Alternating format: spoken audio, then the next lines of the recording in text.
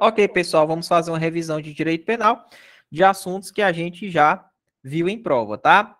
Vamos aqui à nossa primeira parte da revisão. Então, a nossa primeira parte da revisão, pessoal, a gente vai falar lá do artigo 121 do homicídio privilegiado. Professor, o que é, que é o homicídio privilegiado?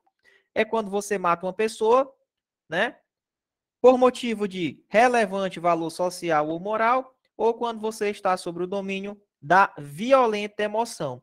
Logo em seguida, há uma injusta provocação da vítima.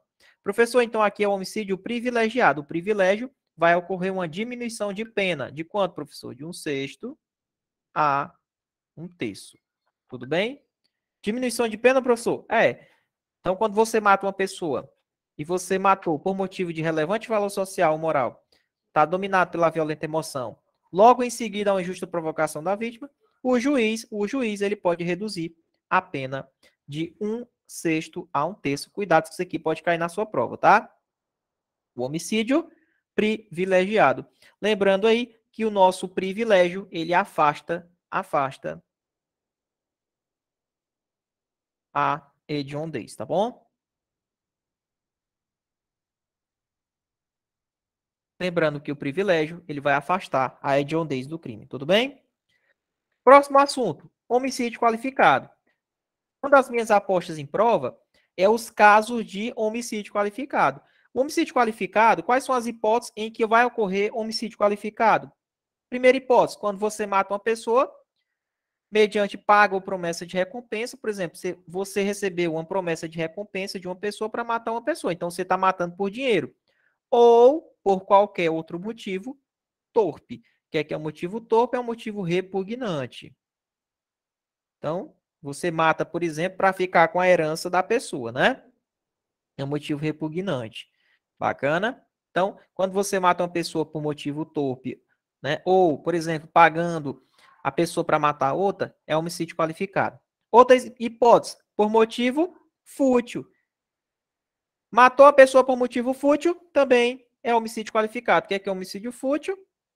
Por motivo fútil, é um homicídio que você mata uma pessoa por besteira. Por motivo besta. Por exemplo, matar uma pessoa numa discussão de trânsito. Matar uma pessoa porque ela está te devendo dois reais. Isso é motivo fútil, tá?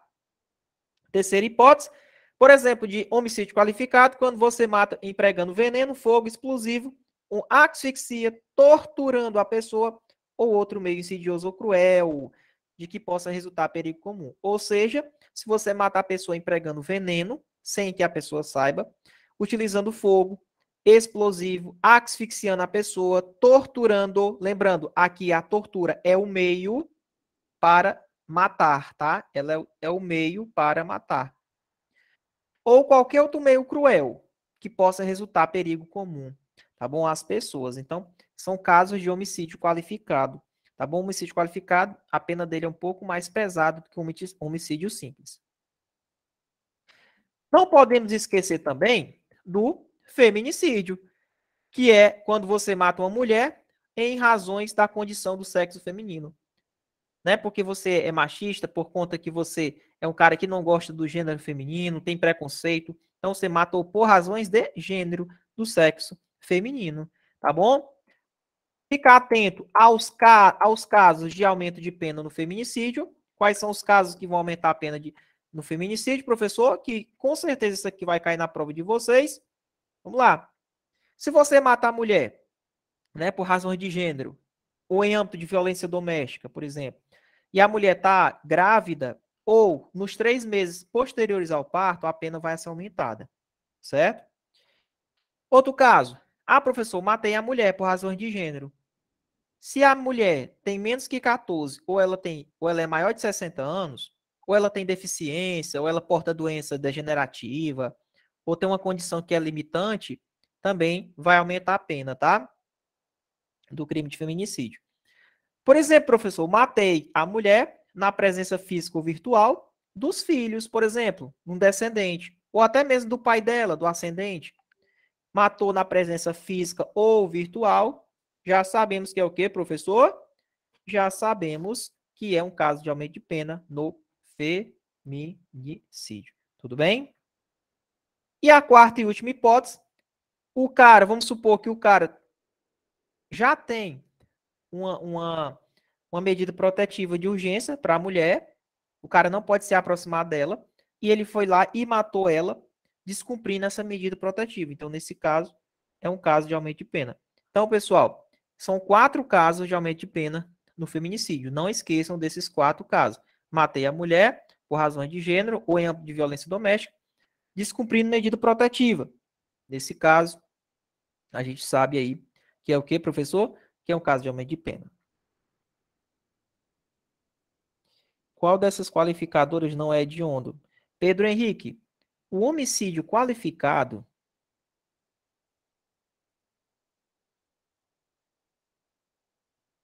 por si só, ele já é hediondo.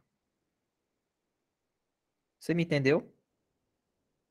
O homicídio qualificado, ele é hediondo. Ah, professor, em qual hipótese? Basta ser homicídio qualificado. Certo? Basta ser qualificado. Agora, o qualificado privilegiado já não é hediondo. Entenderam as hipóteses de aumento de pena do feminicídio? Outra hipótese que vai cair na sua prova: homicídio culposo. O que é, que é homicídio culposo? É quando você não tem a intenção de matar. Quando você pratica um homicídio culposo, por exemplo, você está com seu carro na garagem e aí você dá uma ré e acaba matando o seu filho que está aqui atrás e você não viu na hora de tirar da garagem. Você queria matar ele? Não. Foi uma negligência sua. Foi uma negligência. Professor, nesse caso, como é que acontece? No homicídio culposo, pessoal, existe uma coisa chamada perdão judicial. O que é, que é perdão judicial? Meu amigo, concordo comigo. É legal deixar esse cara aqui na cadeia o resto da vida porque ele matou o filho dele. Ele queria matar? Não, cara. Não queria. Então é o seguinte: as consequências da infração que ele cometeu atingiu ele mesmo. De forma tão grave que o juiz não vai precisar colocar a sanção penal para ele.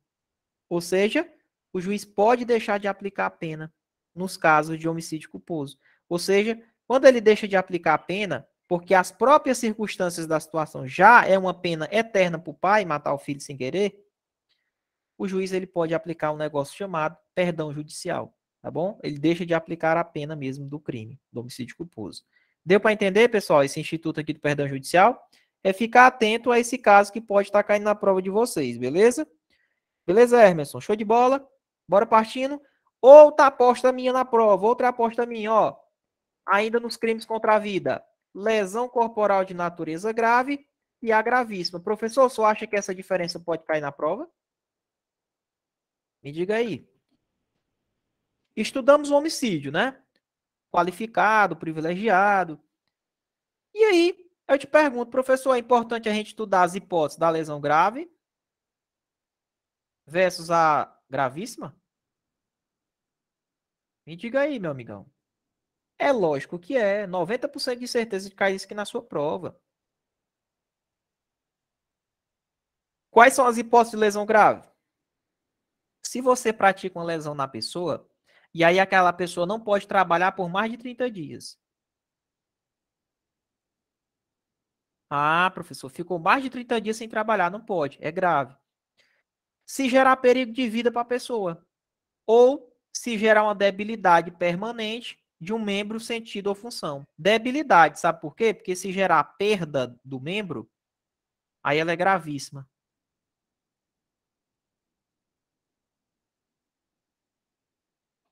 Como assim, professor? É. É gravíssima.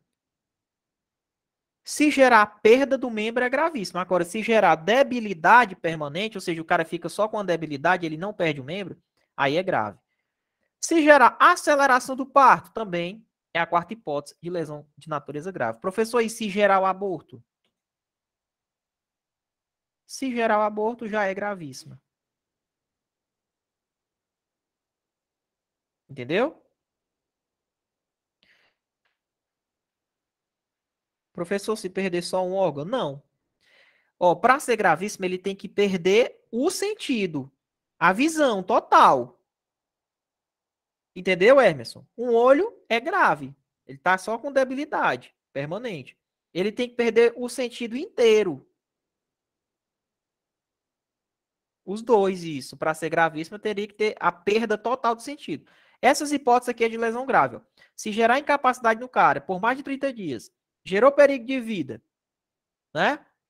gerou debilidade permanente de um membro, não é a perda, gerou debilidade, ou acelerou o parto, aí é os casos de lesão grave. Quais são as, as hipóteses de lesão corporal gravíssima? Anote aí. Olha aí, ó.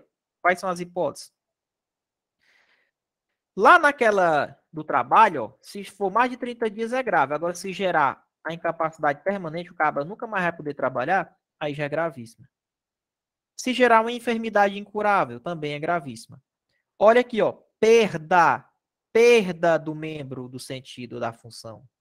Tem que gerar perda, aí é gravíssima.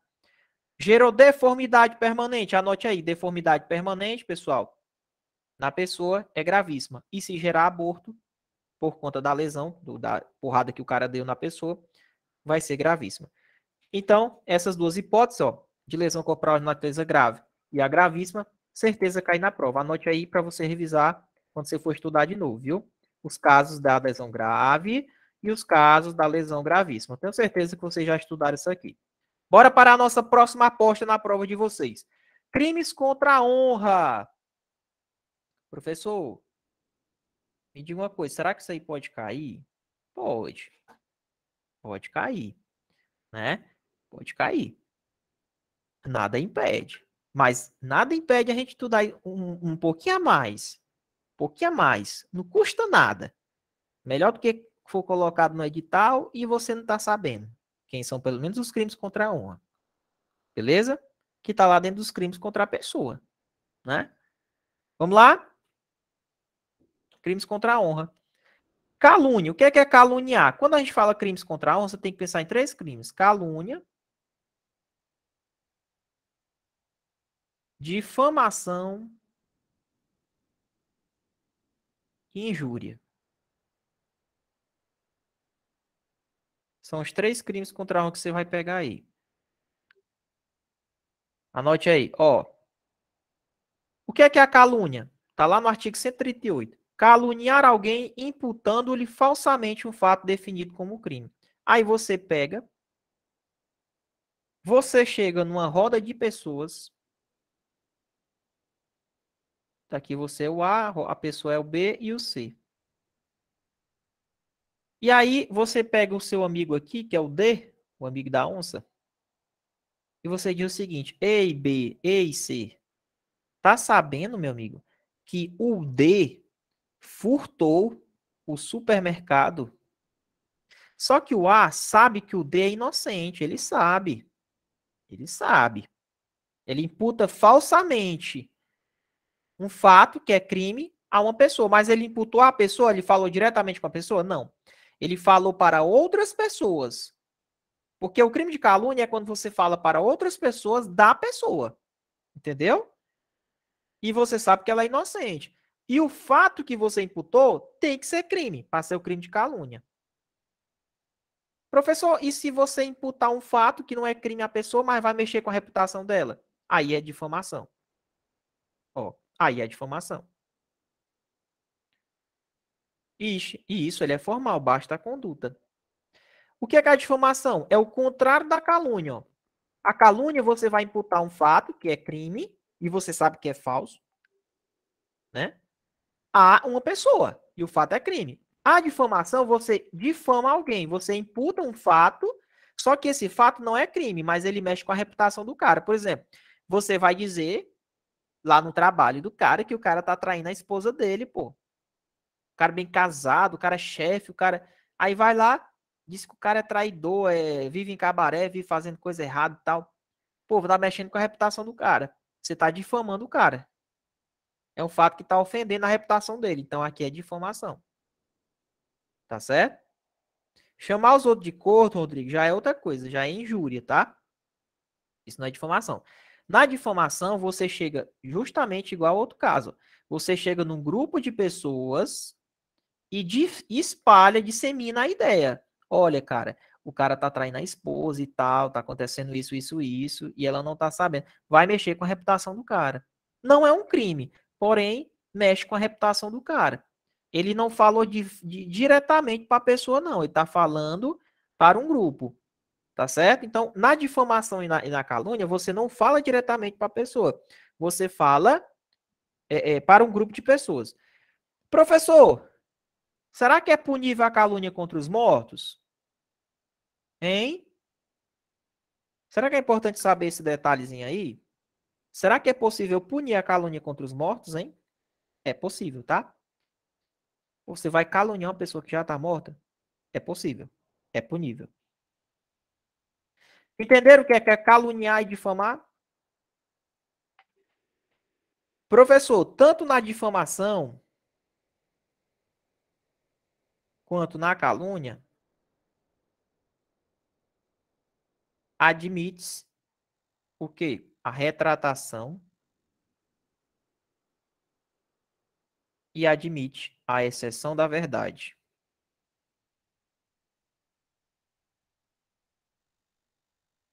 Exceção da verdade. Como assim, professor? Entendi não. Tanto na difamação quanto na calúnia, admite-se a retratação. O que é, que é retratação? Você imputa o fato a uma pessoa e aí você, não, eu quero me retratar do que eu falei. É possível se retratar? É possível. Possível. E a exceção da verdade? Você imputou um fato a uma pessoa, seja difamando, seja caluniando, e depois, não é que o negócio é verdade mesmo? Se realmente for verdade, aí livra a pele do cara entendeu? De responder o crime. Exceto se for verdade. Por isso que o nome é a exceção da verdade. É crime difamar e caluniar, exceto se for verdade. Entendeu? Porque se for verdade, é verdade. entendeu? É, professor, mas no caso da exceção da verdade, na difamação, só é aceito no caso relacionado se o cara for dentro do, do serviço público, né? Relacionado ao serviço público dele. Tá bom? É importante que vocês saibam disso. É punível a calúnia contra os mortos? É. Informação, tá aqui ainda, outra informação importante. Ó. A exceção da verdade somente se admite se o ofendido é funcionário público e a ofensa é relativa ao exercício de suas funções. Lembra que eu falei da difamação? Na calúnia, admite-se a exceção da verdade? Pô, o cara foi lá e furtou um supermercado. Rapaz, mas não é que o cara furtou mesmo? Opa, é verdade. Então, no caso aí, não vai ser punido. A exceção da verdade na difamação só é aceita se a pessoa que eu estou difamando é funcionário público e essa ofensa é relativa ao exercício das funções dele. Entendeu? Ah, então na difamação só é aceita se ele for funcionário público. Isso. Beleza? Se ele for funcionário público. Importante, professor, isso aí pode cair na prova? Pode cair na prova. Vamos partindo aqui. E a nossa injúria, professor, que é o nosso último crime contra a honra? Importante essa nossa revisão aqui, viu? Importantíssima. No caso, pessoal, do, dos crimes contra a honra, tá certo? Finalizamos com a injúria. O que é, que é injuriar? Aqui você fala diretamente para a pessoa. Como assim? Meu amigo, aqui você está falando diretamente para a pessoa. Você vai chamar ela de nome, meu amigo. Você não está falando para os outros, não. Você está falando é diretamente para ela. Você vai mexer na honra subjetiva da pessoa. Ó. Honra subjetiva. Ela vai ficar ferida por dentro. Por isso que na injúria a gente diz que não aceita retratação, porque se tu chamar ela de nome, mesmo que tu diga assim, ó, oh, meu amigo, desculpa aí, viu? A pessoa tá sentida, ela vai continuar é, sentida por dentro dela, mesmo que você se retrate. E por isso que não é admitida a retratação na injúria. A retratação só é admitida na difamação ou na calúnia, porque aí você está acusando ela de uma coisa. E aí você se retrata, as pessoas, não, ele estava mentindo. Na injúria, não. Se tu chamar a pessoa de, de nome, mesmo que tu chegue lá, olha, desculpa aí, mas a pessoa está com a honra dela ferida. Então, a injúria é quando você ofende a dignidade ou o decoro de alguém. E mais, se você ofende a pessoa por questões de raça, cor, etnia, religião, origem ou condição da pessoa idosa ou portadora de deficiência, a gente chama de injúria. Alguém sabe o nome dessa injúria aqui? Quando você ofende uma pessoa por conta da raça, da religião, da condição dela. Injúria o quê? Como é o nome dessa injúria, pessoal? Injúria racial. Injúria racial, pessoal. Tá bom? É a injúria racial. Beleza? Essa injúria racial é justamente quando a gente. Ah, detalhe: essa injúria racial é crime inafiançável. E o que mais? Imprescritível.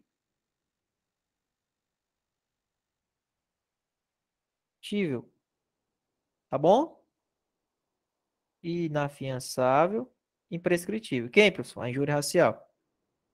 Decisão recente aí do STF, não foi?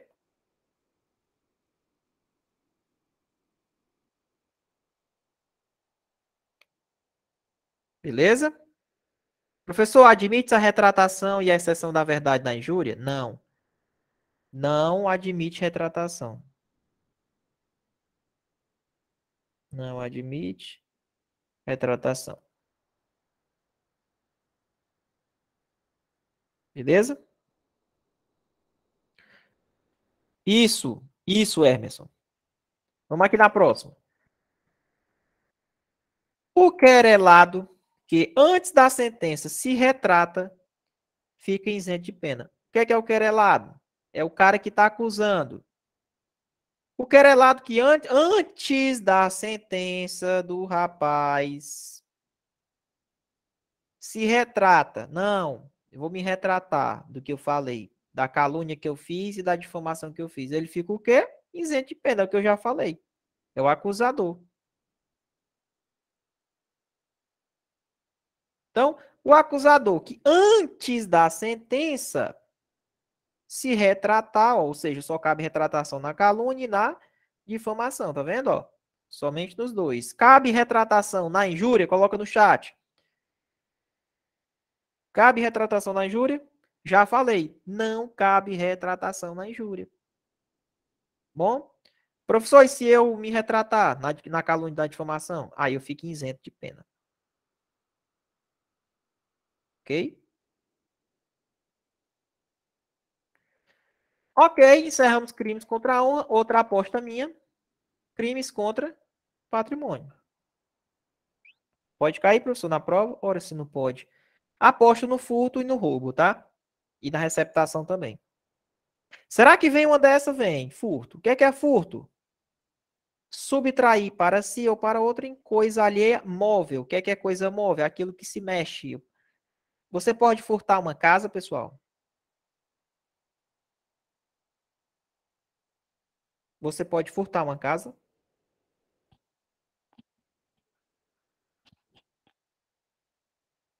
Por que você não pode furtar uma casa?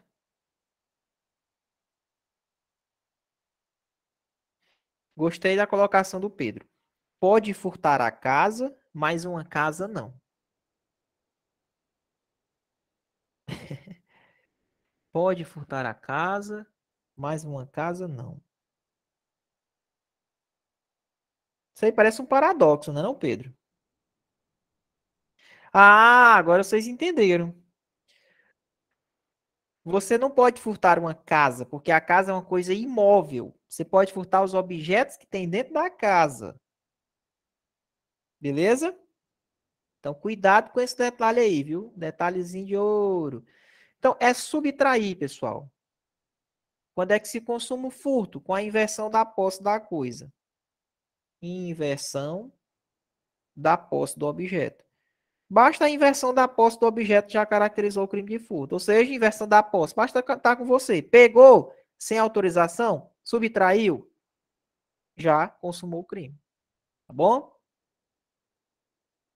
Quais são os casos, professor, que a gente tem que estudar agora? Os casos de aumento de pena no furto, que eu acho que pode cair, e os casos que deixa ele qualificado. Alguns, né? Eu não vou tratar todos aqui. Eu trato das minhas apostas para a prova. Certo? Então, a gente tem que ficar ligado nos casos de aumento de pena e os casos em que vai deixar o furto qualificado. Vamos lá. Professor, qual é o único caso de aumento de pena no furto?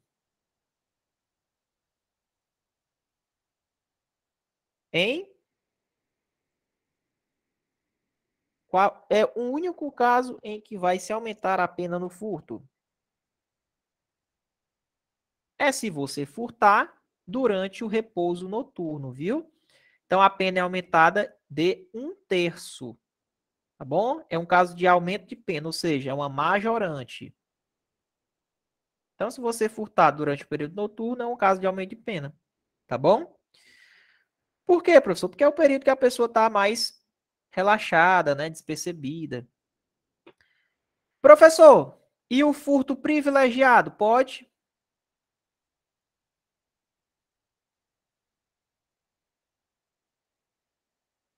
Existe furto privilegiado, professor? Existe. Existe o furto privilegiado. Tá bom? Quando é que o furto é privilegiado? Anote aí os casos.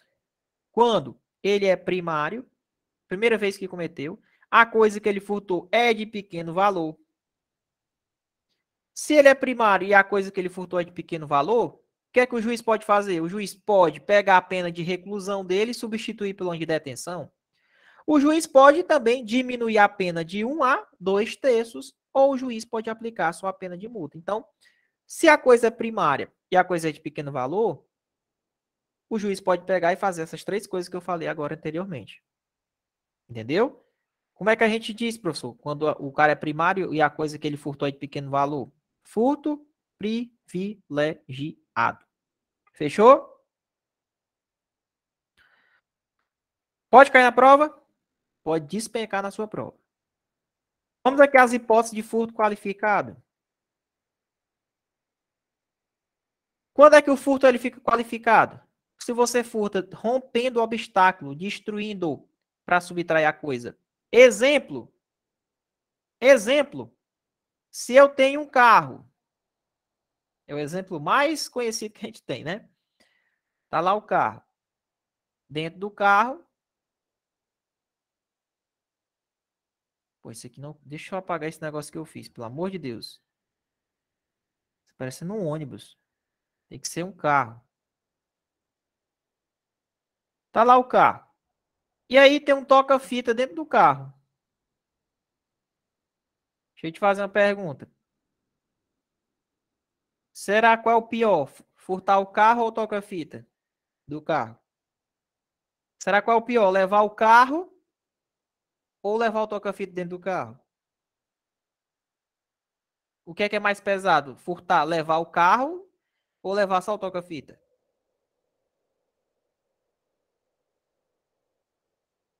Pessoal, o carro é mais caro, né não?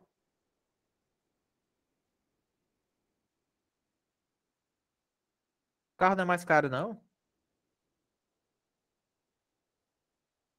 Opa, vocês estão, vocês estão, vocês estão fera, vocês estão, vocês estão tendo aula com o melhor professor, por isso que vocês sabem. Pessoal,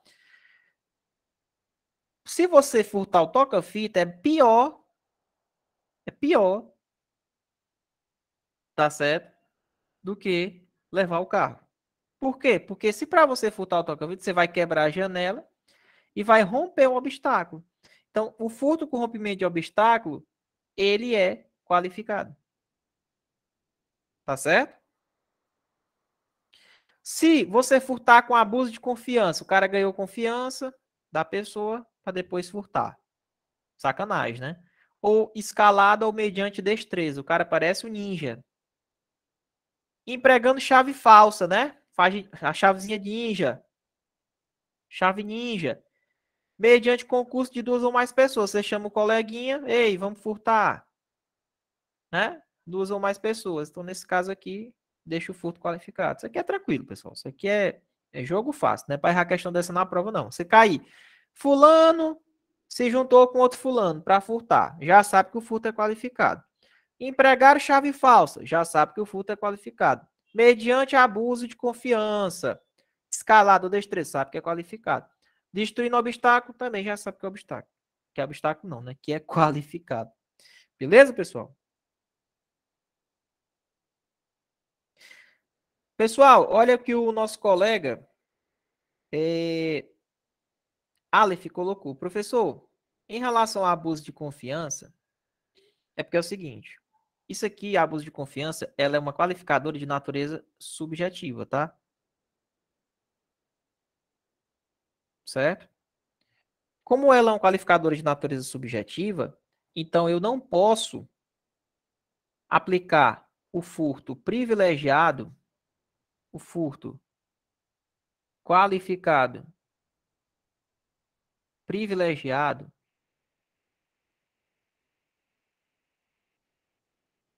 se a qualificadora for de abuso de confiança. Então, não existe furto qualificado privilegiado quando a qualificadora for de abuso de confiança. Por quê? Porque, como ela é de natureza subjetiva e o privilégio é subjetivo, então eu não posso juntar um subjetivo com um subjetivo.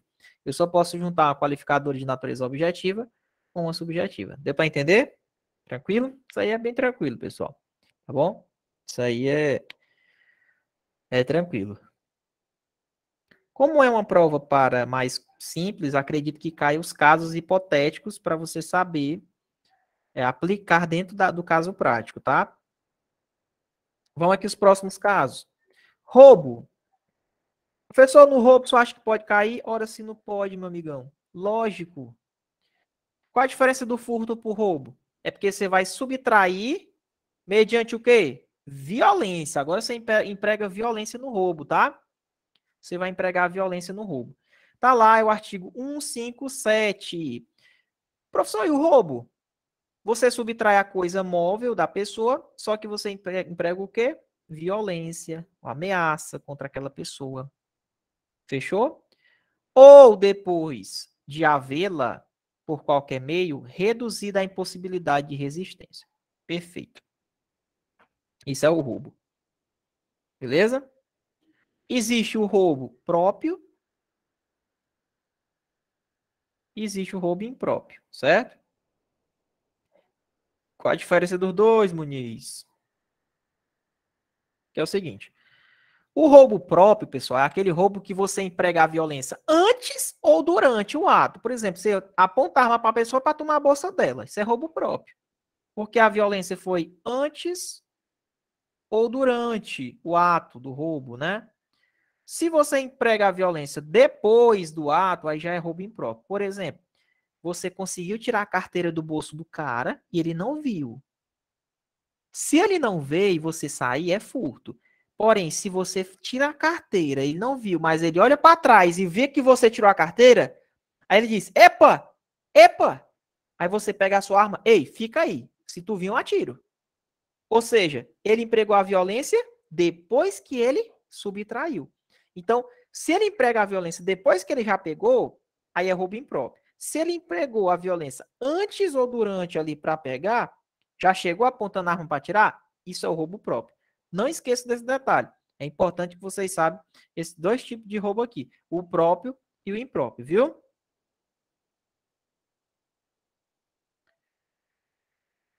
Professor, quais são os casos que pode aumentar a pena do roubo? Aumentar de dois terços.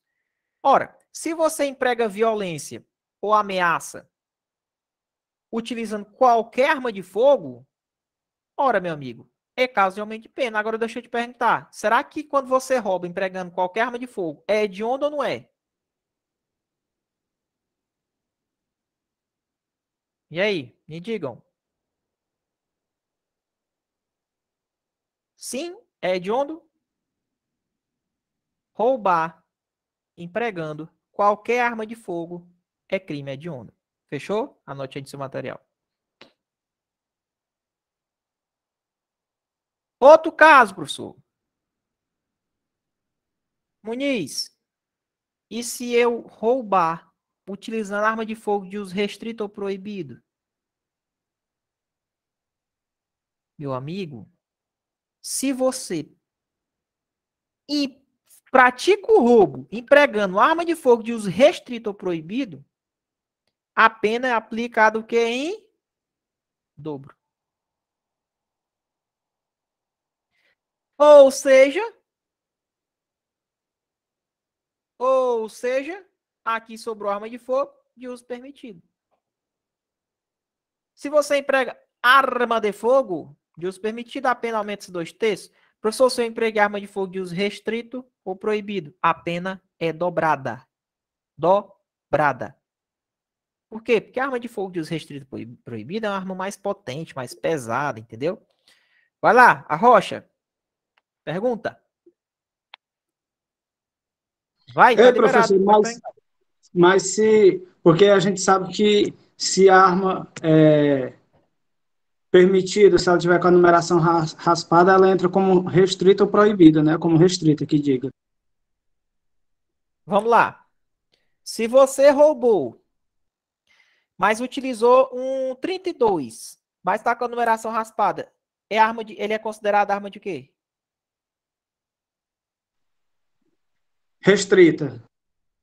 Então, entra aqui nesse caso aqui. Show de bola, beleza. Porque a conduta é equiparada. São situações que vão se equiparar para efeito de, de, de, de ser restrito. Para entrar, na verdade, nas penas do restrito. Isso é, mas isso aí, eu deixei de explicar. Isso aí vai ser lá no, no, no Estatuto de Desarmamento. Ele não vai pegar uma situação dessa e encaixar aqui, não. Certo? Mas foi boa sua associação. Ele vai colocar que a arma de fogo era de uso restrito. Quando, se ele for cobrar uma questão dessa dentro do direito penal, ele vai cobrar a situação genérica. Ele vai dizer, olha, a arma de fogo era de uso restrito. Beleza. Então, se é de uso restrito, eu já sei que é aplicado em dobro a pena. Beleza? Fechou? Show de bola, obrigado. É bom que fica mais uma, né? Sim, fica mais uma. Agora, aquela situação que eu, que eu sempre falo. É, por experiência própria, assim, concurso, eles costumam misturar aquela, que é lá do estado de desarmamento com o roubo aqui? É possível. A gente tem que ficar atento e é por isso que a gente debate esses assuntos. É possível. Porém, para o examinador, geralmente é o cara que vai elaborar a prova, ele costuma seguir o que está no edital. Ele vai cobrar ali é, o que está no edital. Porém, o edital ele pode trazer uma seguinte situação. As disciplinas cobradas no edital podem ser misturadas. Ou seja, ele pode misturar o conteúdo, como acontece no Sebrasp. Ele misturava os conteúdos. Acredito que quando a gente detalha o edital e lê o edital, a gente fica um pouco mais amparado para isso. Se o edital não, não falar que vai misturar, com certeza ele vai cobrar ali cada disciplina no seu, no seu, no, no seu banquinho. Tá certo? É bom, mas é importante você ter levantado essa questão aí, tá bom? Então, aplica-se apenas em dobro se for roubando com arma de fogo de uso restrito ou proibido. Vamos aqui a próxima. Dentro dos crimes contra o patrimônio, acredito muito no dano qualificado, principalmente em concursos que cobram, por exemplo, guarda municipal. Como as guardas municipais são, são é, é, elas são feitas ali para preservação de quê, professor? É, é, do patrimônio, né, do, do município, dos bens e serviços dos municípios. Então, qual o crime que é mais possível você ter, além de ver? É o dano. Então, por isso que, quando envolve guarda municipal, eu acredito muito nessa questão do crime de dano, é, principalmente nas hipóteses do dano qualificado. O que é, que é o dano? O dano, pessoal, é quando você danifica a coisa de alguém. Certo? Existe dano, dano culposo? Não existe. Aqui é quando você pratica o dano com o dolo de praticar. Certo? Não existe. Então, quais são as hipóteses que vai qualificar, vai piorar a pena de dano, crime de dano? Se você é, danifica, por exemplo, o carro de uma pessoa, mas utilizou violência contra a pessoa ou grave ameaça, vai qualificar. Por exemplo, se você empregou fogo, tocou fogo, substância inflamável, explosiva, derramou álcool, né, gasolina, ou se você pratica o dano contra o patrimônio da União, do Estado, dos municípios, de uma autarquia, de uma fundação pública, de uma empresa pública, de uma sociedade de economia mista, de uma empresa que está prestando serviço para o município, por exemplo, uma concessionária de serviço público. Se você pratica esse dano contra o patrimônio da, do, da União, da administração pública, já é qualificado por si só. Só pelo fato da coisa que você prejudicou ser da União, ser do Estado, ser do DF, ser do município. Tá bom? Então é o crime de dano qualificado.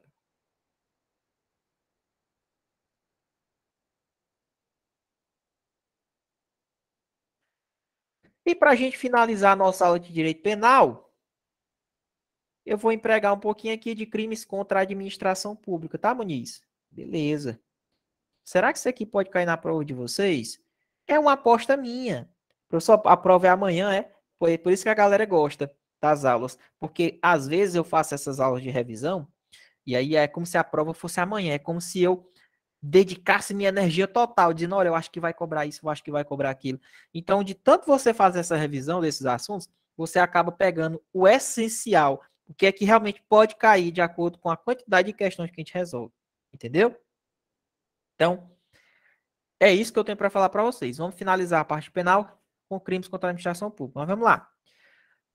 Crimes contra a administração pública. Peculato é o primeiro que eu quero falar. Está lá no artigo 312. O que é, que é peculato, Muniz? Você é funcionário público, certo? Você é funcionário público.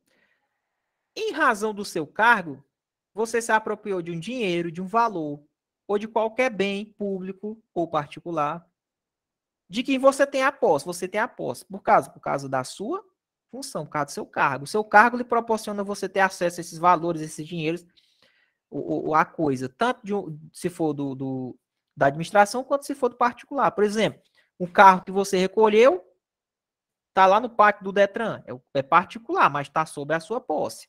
Ah, você apropriou do carro porque você tem a chave, você tem acesso, é peculato. A gente chama até de peculato malversação, né? que é aquele quando você se apropria do, da, do bem particular. Então, por causa do seu cargo, você se apropria de uma coisa que não é sua, meu amigão.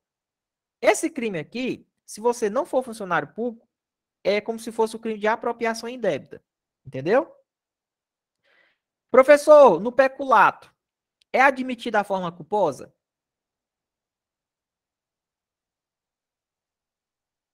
Vamos lá, pontos principais. É possível a forma culposa no peculato? O que é que é culposa? Exemplo, você tem uma sala e aí você tem vários computadores lá.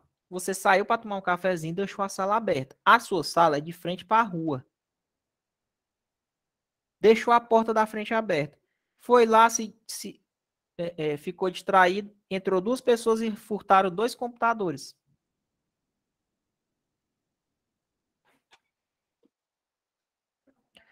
O cara foi desleixado. Ele tem culpa no crime? Ele tem culpa. Então quer dizer, professor, que é admitido peculato culposo? É. Viu? Existe o peculato culposo, que é esse caso que eu falei para vocês, quando tem uma negligência do servidor. Professor, é possível no peculato o concurso de pessoas? É possível eu, que sou funcionário, se juntar com um particular que não é funcionário para a gente pegar uma coisa da administração? É possível sim. O que, que eu faço? Eu tenho a chave, eu tenho a posse do negócio, eu tenho acesso à sala. E aí o particular vai lá, combina comigo, o particular tem que saber da minha condição de funcionário e diz assim, ei, pega lá o um negócio lá, computador para nós. E aí eu vou lá, pego e entrego para o particular. Os dois, tanto o funcionário quanto o particular, irão responder por peculato. Então é possível sim um particular responder por crime contra a administração pública. Mas no caso aí, o particular ele tem que saber a condição de funcionário do ar. Então ele tem que saber da condição de funcionário. Ele tem que saber da condição de funcionário do A. Beleza? Vamos aqui o próximo crime contra a administração pública, crime de concussão. O que é que é a concussão? Palavra-chave, exige. O que é que você vai exigir? Uma vantagem. Ei, meu amigão, me diga uma coisa. É... Você é funcionário público. E aí usa a sua função para ficar exigindo as coisas dos outros mesmo que fora da função, ou mesmo que você tenha passado no concurso e antes de assumir lá aquela função, você utiliza essa situação para exigir uma vantagem.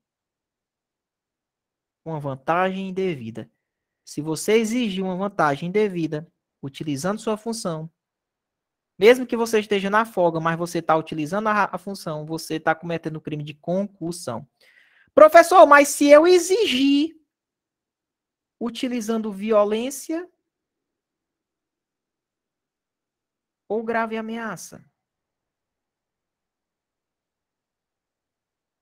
Você, por exemplo, chegando lá num restaurante, existe que o cara bote comida na mesa, porque eu sou servidor público e não vou pagar esse negócio. Exigiu, só exigiu. É concussão. Agora, meu amigo, se você exigir mas utilizou violência e grave ameaça para exigir, você está cometendo o crime de extorsão. Cuidado com isso daí. Sabia desse bizu? Exigiu por causa da função. Professor, eu nem assumi a função ainda, passei no concurso agora, mas já está usando a função para fazer besteira. Mas se você só exige a concussão, porém, se você exige utilizando a violência ou grave ameaça, já é crime de extorsão. Entendeu? Bota zona, arma zona na cara do cara. Aí já é extorsão, meu amigo. O cara fazer as coisas. Aí já é extorsão. Tá bom? Próximo crime, corrupção passiva. Corrupção passiva. Que crime é professor? Pelo amor de Deus. Tá lá no artigo 317. Solicitar ou receber uma vantagem indevida. Existe uma diferença nesses dois verbos, ó. Aqui é solicitar ou receber, aqui é exigir. São duas coisas diferentes. O que é, que é a corrupção passiva? Você chega, vamos lá, ó, olha aqui para mim. Olha aqui. Ó. O que é, que é a corrupção passiva? Tô lá na minha blitz. Blitz não. Uma fiscalização. E aí, só tá travando aí, tá não, né? A aula tá de boa? Tá ok aqui para mim. Tá. Beleza. Ó, vamos lá. Aí o que que acontece? Eu tô lá na minha fiscalização, o cara chega para mim e diz o seguinte: Meu amigo, eu trouxe aqui um quilo de rapadura, um quilo de queijo e vai ter uma festinha próxima semana lá em casa. Vou matar três boi e o negócio vai estar tá bom. Cerveja à vontade, uísque. Você está convidado. Você não vai pagar nada. Viu? O cara é mesmo, é. É. Aí o agente recebeu. Decidiu receber. E ainda aceitou a promessa. Por conta da função do cara. Professor, mas se eu tivesse de folga, mas eu já tivesse combinando com o cara, porque eu ia passar no dia tal, lá na cancela tal, também era corrupção passiva. O cara que ofereceu, ele comete o crime de corrupção ativa. E o cara que recebeu, que eu sou eu, funcionário público, comete o crime de corrupção passiva. Essa é a primeira hipótese. Próxima hipótese, solicitar. Exemplo. Agora sou eu que vou fiscalizar e digo o seguinte: Rapaz, está todo errado seu veículo, né? É, licenciamento atrasado, né? Tudo atrasado aí. Sem carteira, sem. E aí? Tem como aí dar uma ajudinha? Né? Café da tarde, é? Café. Pois é, pessoal.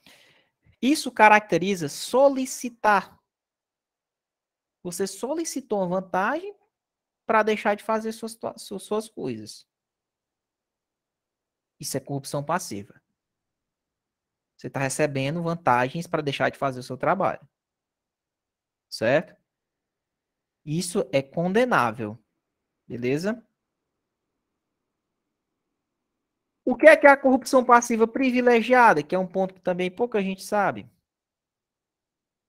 Está lá no crimes contra a administração pública. A privilegiada é o seguinte: você, na verdade, não recebeu dinheiro ou vantagem nenhuma. Mas, na verdade, você deixou de fazer o seu ofício, o seu trabalho, porque você cedeu a um pedido. Por exemplo, cuidado com isso aqui. Se eu sou funcionário, deixo, deixo de praticar um ato, retardei aquele ato, pratiquei uma infração de um dever funcional, porque eu cedi um pedido da pessoa. Por exemplo, passa a mulher e diz assim: Ô, seu guarda, porra, só ia me multar, né? Mas eu só tenho esse carro, pelo amor de Deus. Eu só tenho esse carro para trabalhar, isso, aquilo pelo amor de Deus, você vai acabar com a minha vida. Aí ele, ela entra na mente do guarda. Aí o guarda faz o quê? Cede a pedido dela. Crime é esse, professor? Prevaricação, é? Não é prevaricação isso aqui, não. Isso daqui é corrupção passiva privilegiada. Que você cedeu um pedido de uma pessoa. Você cedeu o pedido de uma pessoa. Você ia fazer o negócio, mas você cedeu ao pedido da mulher e deixou ela ir. Ou até mesmo influência de outra pessoa. Por exemplo, você está passando lá e vai fiscalizar um carro e o carro é do seu chefe. Aí na hora que ele baixa o vidro, o carro, é do chefe. Aí tu diz assim: Opa, chefe. Vou multar o chefe, não, né?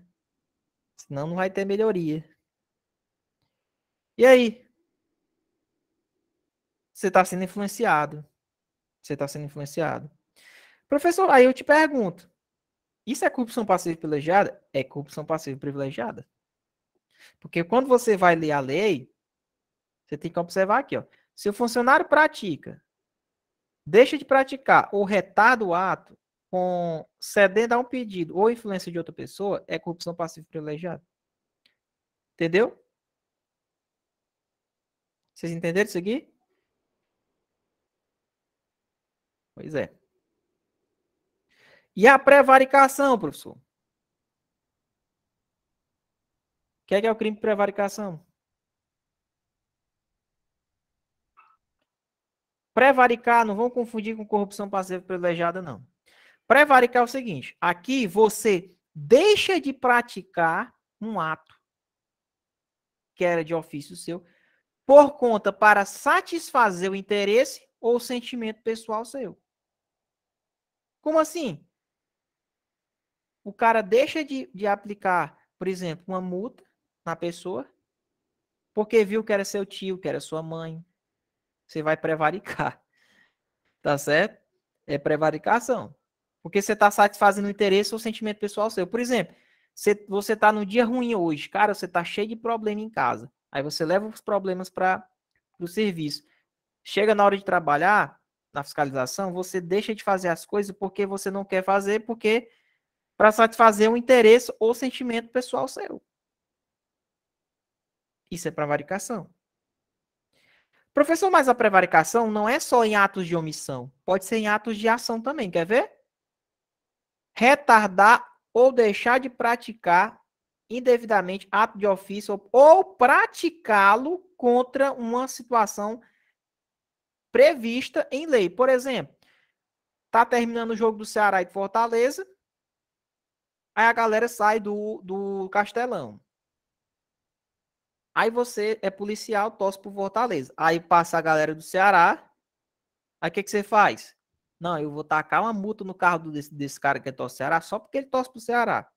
Você acabou de praticar uma situação sua para satisfazer o interesse, um sentimento pessoal seu. Isso também é prevaricação, para quem não sabe, viu? Prevaricação não é só se omitir, não. Também existe a prevaricação por meio de uma ação, viu? Para quem não sabia. Beleza? Então, esqueça desse detalhe, não. Chegue e pergunte pro seu colega, ei, macho, está tendo o jogo do Fortaleza do Ceará, aí o cara te multa. O cara multa uma, o, o, carro do cara que é do Ceará só porque ele torce pro Ceará, porque eu torço pro Fortaleza. Pergunta qual crime ele tá cometendo. Pergunta lá pro teu colega que tá estudando. Coloca lá nos grupos do WhatsApp. Importante isso aqui, pessoal. Se for para satisfazer interesse ou sentimento pessoal do cara, isso é prevaricação. Próximo crime. Aí eu coloquei aqui, para a gente finalizar, alguns crimes cometidos pelo particular contra a administração em geral. Esses crimes que eu falei aqui anteriormente, ó, é são crimes que são praticados pelo funcionário contra a administração. Esses dois crimes que eu coloquei aqui são crimes praticados por uma pessoa particular contra a administração. E os principais é o crime de resistência e o de desobediência. Qual a diferença dos dois? Resistência é quando você se opõe a uma, uma execução de um ato que é legal, mediante violência ou ameaça a um funcionário que tem competência para executar. Então, por exemplo, o cara vai lá é, cumprir o mandado de prisão. O cara não está cooperando, o cara está resistindo, tá, tá utilizando violência ou ameaça para resistir. Ele vai responder pelo crime de resistência. Ele está se opondo a uma ordem legal. Professor, e se opor a uma ordem ilegal é resistência? Não, só é resistência se a ordem for uma ordem legal. Cuidado com isso aí. E a desobediência, professor? Na verdade, a desobediência, você não utiliza violência ou ameaça. Você simplesmente só desobedece à ordem do funcionário público. O funcionário público deu uma ordem, você desobedeceu. É desobediência. Aí eu te pergunto: uma desobediência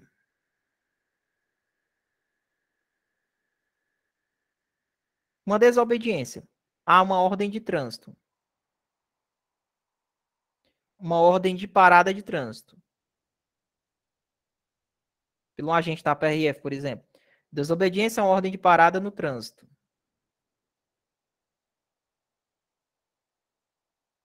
Isso é crime de desobediência no Código Penal ou é só uma infração, uma infração administrativa de desobediência?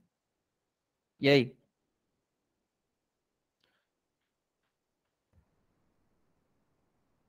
Tô patrulhando na viatura. Dei uma ordem de parada, o cara não parou. Mas na frente eu peguei ele. Levei para delegacia. Vou enquadrar ele no crime de desobediência do Código Penal ou é só infração administrativa?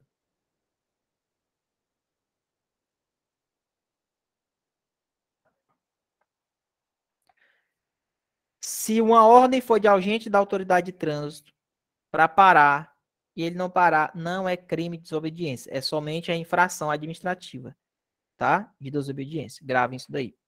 Fechou, pessoal? Fechou? Fechou? Fechou. Pode encerrar a aula aí. Beleza? Fechou. Pessoal, guarda esse material. Pode encerrar a aula.